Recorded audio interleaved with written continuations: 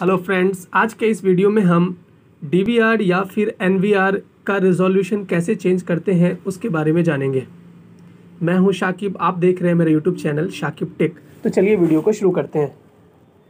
तो चलिए, सबसे पहले हम अपने DVR को लॉगिन कर लेते हैं।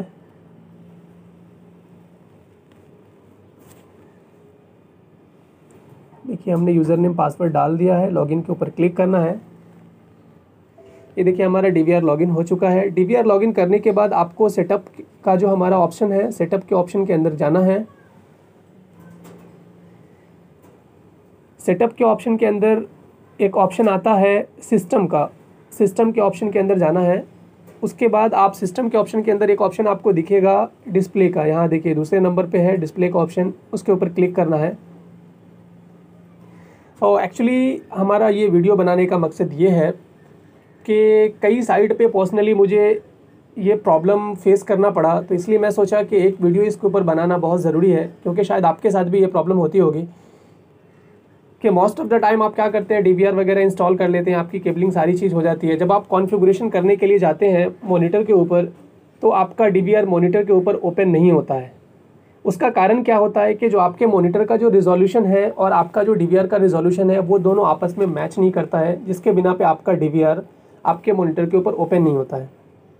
तो उस केस में हमें क्या करना होता है? या तो फिर आप कोई दूसरा मोनीटर लगाइए, फिर जाके आप अपने डीवीआर का रिजोल्यूशन चेंज कीजिए। या फिर एक दूसरा ऑप्शन आपके पास है कि आप अपने डीवीआर को लैपटॉप के थ्रू लॉगिन करें एंड देन फिर उसके बाद आप अपना रिजोल्यूशन को डीवीआर का चेंज करें। फिर आप अपने मोनीटर के साथ कनेक्ट करें तो फिर आपका जो डीवीआर है, वो आपके मोनीटर के ऊपर ओपन हो जाएगा। तो हमारा जो दूसरा वाला ऑप्शन है कि लैपटॉप के साथ कनेक्ट करने का, क्योंकि सबके पास लैपटॉप का ज़माना है लैपटॉप हर किसी के पास मोस्टली होता है तो आप लैपटॉप भी कैरी करें।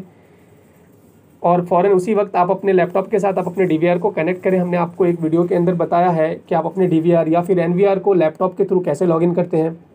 तो आप अपने डीवीआर को लैपटॉप के ऊपर लॉगिन कर लें और फिर हम जो आपको ये सेटिंग बता रहे हैं, वहाँ जाके ये देखिए, आप देख पा रहे होंगे डिस्प्ले के अंदर, फिर आप अपने रेजोल्यूशन के अंदर का एक ऑप्शन होता है, यहाँ पे रेजोल्यूशन के अंदर जाएँ, यहाँ पे आपको अलग अलग तरह का रेजोल्यूशन दिख जाएगा।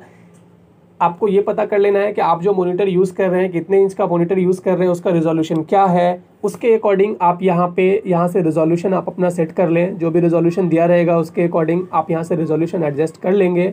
फिर रेजोल्यूशन सेट करने के बाद आपको यहाँ पे सेव पे क्लिक कर देना है। सेव पे क्लिक करने के बाद आपका जो रिजोल्यूशन है टीवी के अकॉर्डिंग सेट हो जाएगा। फिर जाके आप अपने डी को मॉनिटर के साथ कनेक्ट करें तो आपका टी मॉनिटर के ऊपर ओपन हो जाएगा। आई होप आपको ये वीडियो पसंद आया होगा।